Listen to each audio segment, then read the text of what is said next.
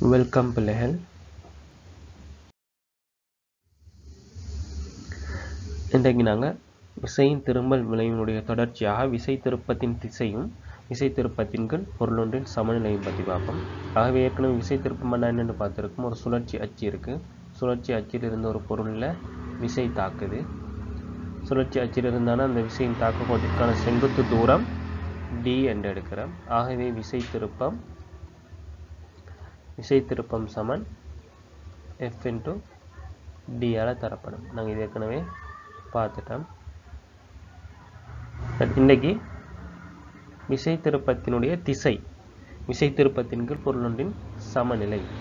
விசை என்றது ஒரு காவிக்கணியம் என பருமனும் திசையையும் கொண்டது. ஆகவே விசை திருப்பத்துக்கும் திசை இருக்குது இல்லையா? அப்போ அது என்னன்றதை பார்ப்போம். அநேகமாக இப்படி ஒரு தராசு நீங்கள் கண்டிருப்பீங்க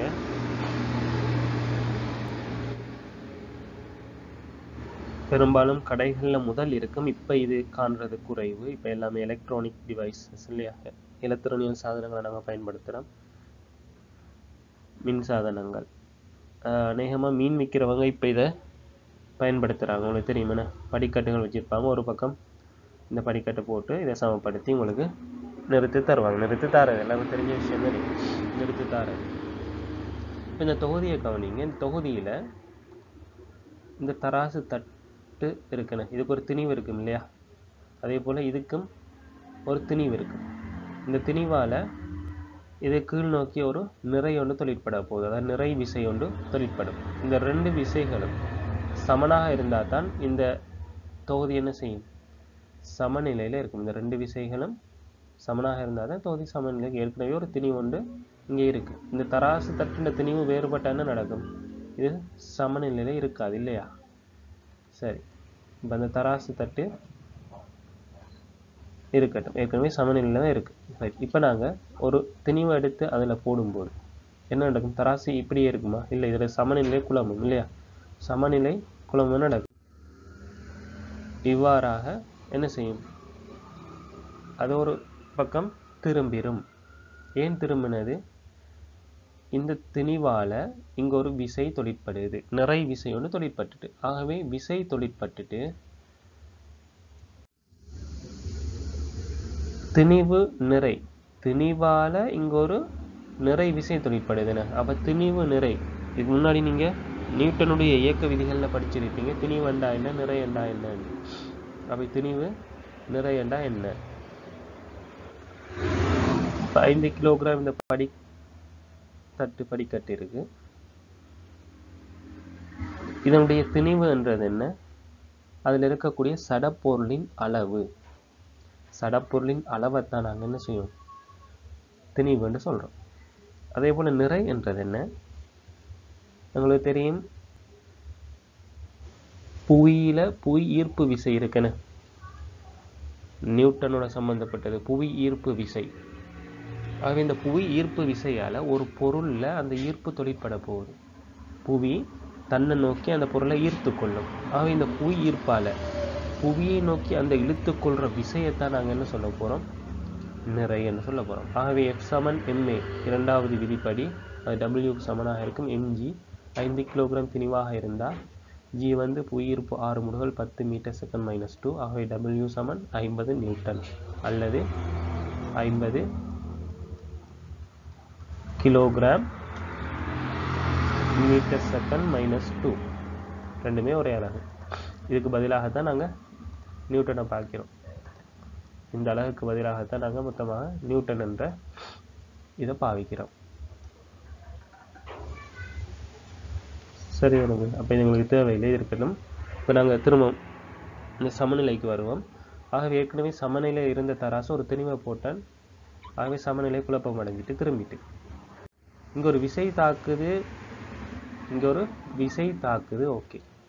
இதனுடைய சுழற்சி அச்சு. எது பற்றி இது சுழன்றது? இங்கே இருக்கிற தராசனுடைய நடுப்பகுதி பற்றி இது சுழன்றாச்சு. அவன் சுழற்சி அச்சு இருக்குது இதில் தாக்கக்கூடிய விசை இருக்குது சுழற்சி அச்சிலிருந்தான இந்த விசையின் தாக்கக்கோட்டிற்கான செங்குத்து தூரம்.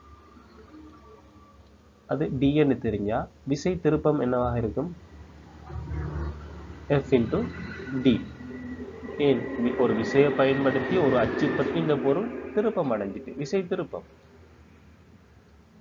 எந்த திசையை நோக்கி இது திரும்பல் அடைஞ்சிருக்கு?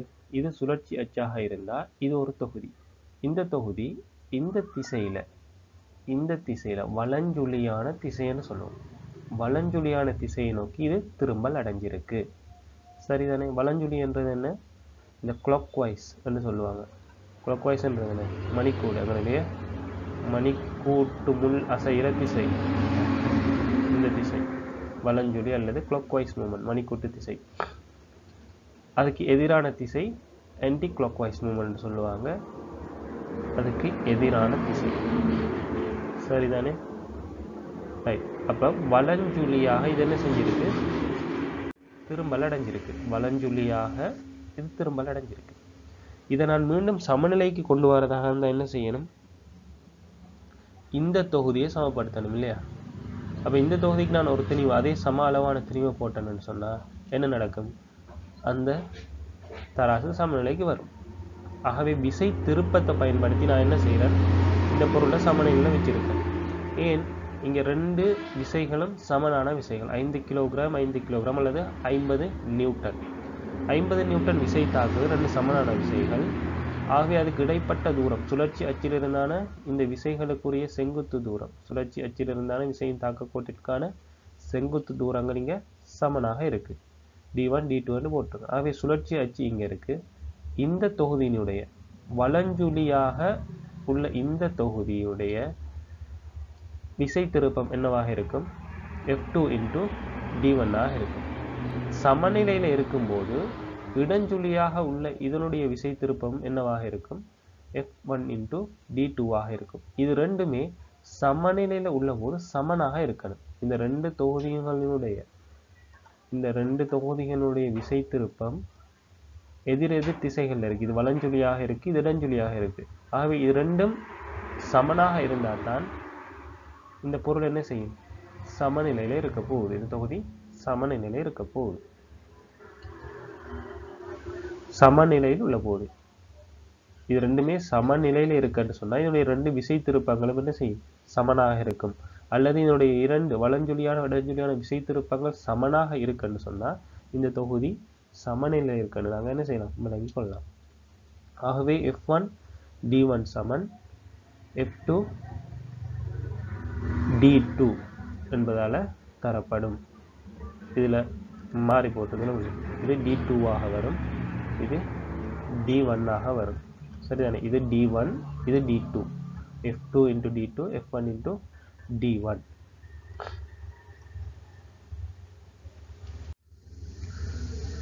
சரி இப்போ கவனிங்க. அதே தொகுதி அதே தொகுதியை நான் கொஞ்சம் வித்தியாசப்படுத்துகிறேன் பெருமானங்களை போட்டு பார்ப்போம்.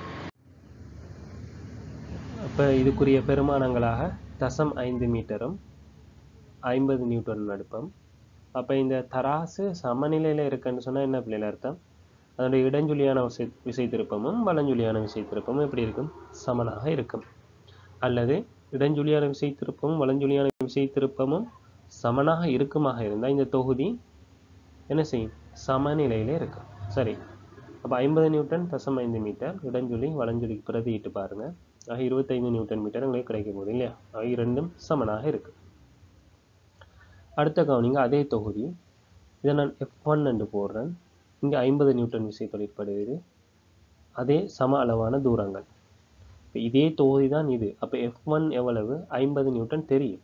நான் எஃப் ஒன்னா எனக்கு தெரியாதுன்னு எடுத்துக்கொள்வோம். எஃப் ஒன்ன்றது எனக்கு தெரியாது. தொகுதி சமநிலையில் இருக்கு. தொகுதி சமநிலையில் இருக்குண்டா என்ன அர்த்தம்? இந்த தராசு சமநிலையில இருக்கு. அப்படின்னு என்ன அர்த்தம்? வலஞ்சொலியான இந்த விசை திருப்பமும் இடஞ்சொலியான இந்த விசை திருப்பமும் சமனாக இருக்கு. எப்பான்னு எனக்கு தெரியாது. அப்ப சமநிலையில் இருக்கும்போது இந்த இரண்டு விசை திருப்பங்களும் சமனாக இருக்குமாக இருந்தா சமனாக இருக்கிறதுக்கு இது தசம் ஐந்து மீட்டர் இது ஐம்பது நியூட்டன்டா இதுவும் தசம் ஐந்து மீட்டர். அப்ப இது எவ்வளவாக இருக்கணும்? ஐம்பது நியூட்டனாகத்தான் இருக்கணும். சரிதானே?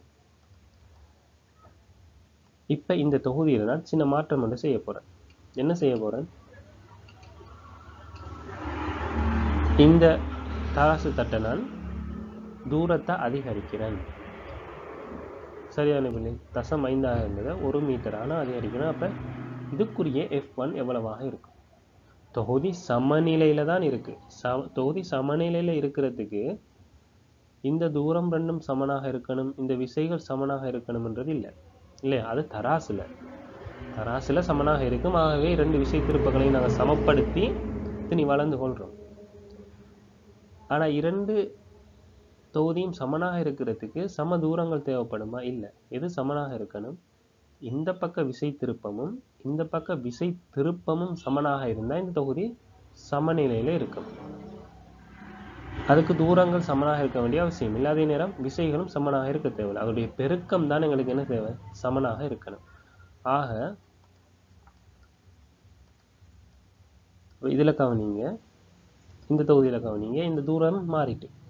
தூரம்ன்றது என்ன? சுழற்சி அச்சில் இருந்தாலும் இந்த விசையின் தாக்க கோட்டிற்கான செங்குத்து தூரத்தை தான் நான் தூரம் தூரம்னு சொல்ல போறேன் இப்போ. சரிதானே? அதுதான் நாங்கள் தூரம்னு பாவிக்கிறோம். இப்போ இந்த தொகுதியினுடைய இடஞ்சுழிய வலஞ்சுழியான விசை திருப்பம் இடஞ்சுழியான விசை திருப்பம் என்னவாக இருக்கும்? சமனாக இருக்கும். எப்ப? அது சமநிலையில இருந்தா. இல்ல சமநிலையில இருக்கணுமாக இருந்தா. இந்த தொகுதியை நான் சமநிலையில வைக்கணுமாக இருந்தா எஃப் ஒன்னுக்கு நான் எவ்வளவு விசையை கொடுக்கணும்? எப்படி காணலாம்?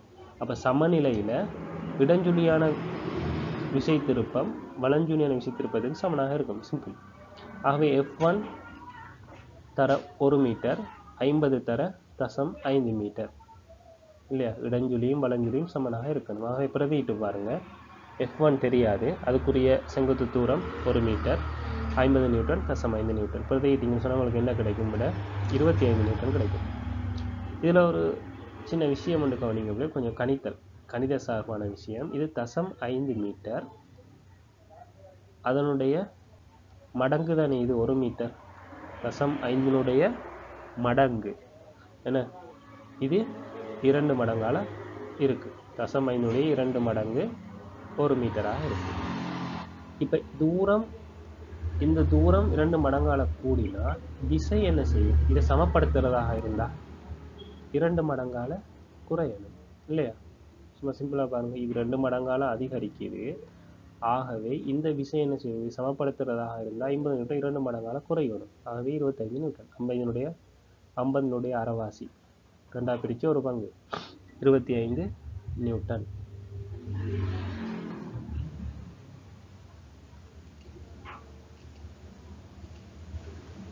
கணித்தல்களில் பார்த்தீங்கன்னா எஃப் ஒன் வந்து இருபத்தஞ்சு நியூட்டன். இதில் பார்க்கலாம் நீங்கள் எஃப் ஒன் இருபத்தி ஐந்து நியூட்டன் மீட்டர். ஐம்பது தர தசம் ஐந்து. எவ்வளோ ஐம்பது நியூட்டனும் தசம் ஐந்து மீட்டரும் பெருக்கினோம்னு சொன்னால் இருபத்தைந்து நியூட்டன் மீட்டர் கிடைக்கும். இந்த ஒரு மீட்டர் இங்கே வந்து பிரிவட போகுது. ஆகிய மீட்டரும் மீட்டரும் வெட்டுப்பட்டு இருபத்தி ஐந்து நியூட்டன் எங்களுக்கு விடையாக கிடைக்கும். விசை தானே நாங்கள் காண வேண்டியது? ஆகவே அலகுகளை கவனித்து கொள்ளுங்க. ஆக மீட்டரும் மீட்டரும் இங்கே வெட்டுப்பட்டு போயிடும். மீதியாங்களுக்கு இருபத்தி ஐந்து நியூட்டன் விசை கிடைக்கும்.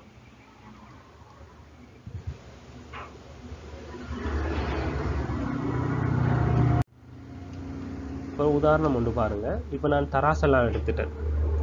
எங்களுக்கு தராசெல்லாம் தேவையில்லை. இதில் இரண்டு விசைகள் தொழிற்படுகிறது. இரண்டு விசைகள் தொழிற்படுகிறது. எஃப் ஒன் எஃப் டூ அதே போல் எஃப் ஒன்னுக்குரிய தூரம் டி ஒன் ஆகும் எஃப் டூ இந்த தொகுதிக்குரிய தூரம் டி டூ ஆகவும் எடுக்கிறோம் சமநிலையில். இந்த தொகுதி சமநிலையில் இருக்குன்னு சொன்னால் என்ன அர்த்தம்? இடஞ்சுழியான வளஞ்சுழியான விசை திருப்பங்கள் எப்படி இருக்கும்? சமநிலையில் இருக்கும். அல்லது இந்த தொகுதியை நான் விசை திருப்பத்தை சமப்படுத்தினேன்டா. இந்த தொகுதியில் உள்ள விசை திருப்பங்களை சமப்படுத்தினா இந்த தொகுதி சமநிலையில் இருக்கும். சமநிலையில் இருக்குன்னு சொன்னால் அதனுடைய விசை திருப்பங்கள் சமனாக இருக்கும். மாறி மாறி. இரண்டு விதமாகவும் இதை சொல்லலாம். ஆக எஃப் ஒன் டி ஒன் சமன் எஃப் டூ டி டூ சரிதானே? இப்போ இதுக்கு பதிலாக நாங்கள் பெருமானத்தை போட்டு பார்ப்போம். சரிதானே பிள்ளை? நான்கு மீட்டர் இரண்டு மீட்டர். இங்கால அறுபது நியூட்டன். ஆகவே எஃப் டூ என்ன? அதாவது இந்த தொகுதியை நான் சமநிலையில் வைக்கிறதுக்கு. நான்கு மீட்டர் தூரத்தில் அறுபது நியூட்டன் தொழிற்படுகிறது. இரண்டு மீட்டர் தூரத்தில் எஃப் டூ என்ற விசையை நான் கொடுக்க போகிறேன் இரண்டு மீட்டர் தூரத்தில் எஃப் டூ என்ற விசையை கொடுக்க போகிறேன் எவ்வளவுன்னு தெரியாது ஏன்? எவ்வளவு விசையை கொடுத்தா இந்த தொகுதி சமநிலையில் இருக்கும்? எவ்வளவு விசையை கொடுத்தா இந்த தொகுதி சமநிலையில் இருக்கும்? அல்லது இந்த தொகுதி சமநிலையில் இருக்குது இப்போ. நான்கு மீட்டர் இரண்டு மீட்டர் தூரங்களில் விசை தாக்குது. இங்கே அறுபது நியூட்டன் இங்கே ஒரு விசை தாக்குது. இது சமநிலையில் இருக்குன்னு சொன்னால் எஃப் டூ எவ்வளவாக இருக்கும்? இல்லையா? அதை நீங்கள் பிரதியிட்டே காணலாம். ஆகவே வலஞ்சொலி விசை திருப்பம் இடஞ்சொலி விசை திருப்பத்துக்கு சமனாக இருக்க போகுது சமநிலையில். அதனுடைய பெருக்கம் அறுபது தர நாலு. எஃப் டூ தர இரண்டு. எங்களுக்கு எஃப் டூ தெரியாது. ஆகவே எழுவாய் மாற்றம் செஞ்சு பாருங்கள் கணித்தல் என்ன? எஃப் டூ அப்போ அறுபது தர நாளின்கள் இரண்டு வரப்போகுது. ஆகவே மீட்டரும் மீட்டரும் மட்டுப்பட்டால் எங்களுக்கு எஃப் டூ நூற்றி இருபது நியூட்டனாக எங்களுக்கு கிடைக்கும். எங்கேயும் நீங்கள் கவனிக்கலாம் பிள்ளைகள். கணிதம். ஏன்னா நீங்கள் பயிற்சி செய்யும்போது உங்களுக்கு தானாக வரும். என்ன? இந்த தூரத்தை கவனிங்க.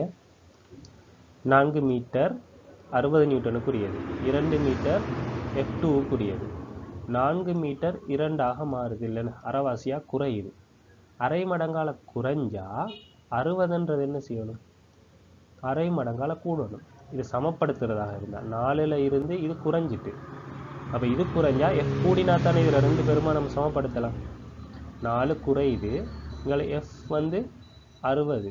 அறுபதுக்கு நாலு இருக்குது இங்கே ரெண்டால் குறைஞ்சிட்டு. அப்போ இந்த ரெண்டு சமப்படுத்துறதாக இருந்தால் ஒன்று குறைஞ்சா இன்னொன்று கூடி ஆகணும் அப்போ தானே சமப்படுத்தலாம். ஆகவே எஃப் டூ என்ன வரும்? அறுபது இரண்டு மடங்காக பார்த்தோம்னு சொன்னால் நூற்றி இருபது நியூட்டன். இது மெட்ஸ் கணித்தல்கள். சரிதானே பிள்ளை அப்போ நாங்கள் விசை திருப்பத்தின சமநிலையும் அதனுடைய திசையையும் பார்க்குறோம். இப்போ நான் பெருமானங்களை மாற்றி பார்ப்போம் பிள்ளை. உதாரணமாக எடுங்க. ஐந்து மீட்டர் தூரம் முந்நூறு நியூட்டன் விசை தாக்குது இந்த பக்கம் ஐநூறு நியூட்டன் விசை தாக்குது. நான் ஏற்கனவே சொன்ன மாதிரி ஒரு பொருள். இந்த விசை திருப்பங்கள் சமனாக இருக்க இல்லையா? பொருள் சமநிலையில் இருக்குன்னு சொன்னால் விசை திருப்பங்கள் தான் சமனாக இருக்கணும். இதனுடைய தூரங்களோ அல்லது விசைகளோ என்ன செய்ய தேவையில்ல? சமனாக இருக்க தேவையில்ல. தராசு மாதிரி இருக்க தேவையில்ல. தராசுன்றது உதாரணத்துக்காக நான் சொன்னது. இப்போ இந்த தொகுதி சமநிலை இருக்குன்னு சொன்னால் இதனுடைய இரண்டு விசை திருப்பங்களும் சமனாக இருந்தால் சரி. அவை ரெண்டுடைய பெருக்கம் தானே? அது தூரமும் மாறலாம் விசையும் மாறலாம். ரெண்டுடைய பெருக்கம் எங்களுக்கு சமனாக வந்தால் அந்த தொகுதி என்ன செய்யும்? சமநிலையில் இருக்கும். ஆகவே இதனுடைய விசை திருப்பத்தை பயன்படுத்துங்க. இடஞ்சுழியான விசை திருப்பம் வலஞ்சுழியான விசை திருப்பத்துக்கு சமனாக இருக்க போது இப்போ சமநிலையில். ஆகவே எஃப் ஒன் டி ஒன் சமன் எஃப் டூ டி டூ இங்கே எஃப் ஒன் முந்நூறு நியூட்டன் ஐந்து மீட்டர். எஃப் டூ ஐநூறு நியூட்டன் டி டூ எங்களுக்கு தெரியாது. இதில் என்ன விளக்கம்? இரண்டு விசைகள் தொழிற்படுகிறது. ஒரு விசை ஐந்து மீட்டர் சுழற்சி அச்சிலிருந்து ஐந்து மீட்டர் தூரத்தில் இருக்குது இன்னொரு விசை எவ்வளோ தூரத்தில் தெரியாது எனக்கு. இந்த ஐநூறு நியூட்டன் விசையை நான் எவ்வளவு தூரத்தில் வச்சா இந்த பொருளை சமநிலைப்படுத்தலாம்? அல்லது இந்த தொகுதி சமநிலையில் இருக்குன்னு சொன்னால் எவ்வளவு தூரத்தில் ஐநூறு மீட்டரை வைக்கலாம்? இல்லையா? அப்போ டி டூவை நீங்கள் சமன்பாடு மூலமாக காணலாம். கணிதம். டி டூ அழுவாய் மாற்றுங்க முந்நூறு தர ஐந்தின் கீழ் ஐநூறு வரப்போகுது. முந்நூறு தர ஐந்து முந்நூறு நியூட்டன் மீட்டர். ஆயிரத்தி ஐநூறு நியூட்டன் மீட்டர் பெருக்கம். அதன் கீழ் ஐநூறு நியூட்டன். என் விசைதானே இங்கே. ஆகவே நியூட்டனும் நியூட்டனும் வெட்டுப்பட்டு போகுது எஞ்சுறது எங்களுக்கு என்ன? டி டூ மூன்று மீட்டர். ஆகவே இது மூன்று மீட்டராக இருந்தால் இந்த தொகுதி என்ன செய்யும்? சமநிலையில் இருக்கும். ஐநூறு நியூட்டன் என்ற திசையை மூன்று மீட்டரில் நாங்கள் பயன்படுத்தினா இந்த தொகுதி சமநிலையில் இருக்கும்.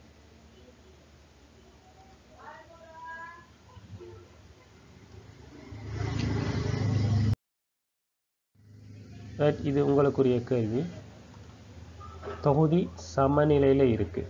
தொகுதி சமநிலையில் இருக்கும் இருக்கும்போது இடஞ்சுழியான விஷயத்திருப்பம் திருப்பம் வலஞ்சுழியான சமனாக இருக்கும். ஆகவே டி டூ என்ன? இதை காணுங்க. இது ஐம்பது சென்டிமீட்டர். இதை கவனிங்க. ஐம்பது சென்டிமீட்டர் தந்திருக்கேன் ஆகவே நீங்கள் இதை என்ன செய்யணும்? மீட்டருக்கு மாற்றி உங்களை பிரதியிட்ட செய்யுங்க. அதே போல் கவனிங்க இல்லையா? இந்த தராசை எடுங்க. மீன் மீன் மாமா உங்கள்கிட்ட மீன் தாரா. இல்லையா? ஒரு கிலோகிராம் ஒரு கிலோ மீன் வாங்குறீங்க. சரிதானே? ஒரு கிலோ மீன் வாங்குறீங்க. ஒரு கிலோ படிக்கல் இங்கே போட்டிருக்கார். இங்கால மீனை போட்டு நிறுக்கிறார் ஆகவே தொகுதியை சமநிலைப்படுத்தி அவர் நிறுத்தி தந்துட்டு போயிட்டார். சரிதானே? உதாரணமாக இது தசம் ஐந்து மீட்டரே எடுங்க. இது ஒரு தசம் ஐந்து மீட்டர் தூரம். சரியா? இப்போ ஒரு கிலோகிராம் தசம் ஐந்து மீட்டர் படி படிக்கல்ல போட்டு அவர் தந்துட்டு போயிட்டார். ஆனால் நீங்கள் வீட்டை போய் நிறுத்து பார்க்குறீங்க. தொள்ளாயிரம் கிராம் தான் உங்கள்கிட்ட இருக்கு. எலக்ட்ரானிக் டிவைஸில் எலக்ட்ரிக் தராசில் நீங்கள் போட்டு நிறுத்து பார்க்குறீங்க. தொள்ளாயிரம் கிராம் தான் இருக்குது அது இங்கே என்ன நடந்திருக்கு? அல்லது என்ன செஞ்சால் உங்களுக்கு இப்படி தொள்ளாயிரம் கிராம் வந்தது என்றதை ஆன்சரை இதுக்குரிய இரண்டு ஆன்சர்களையும் நீங்கள் எனக்கு சொல்லுங்கள்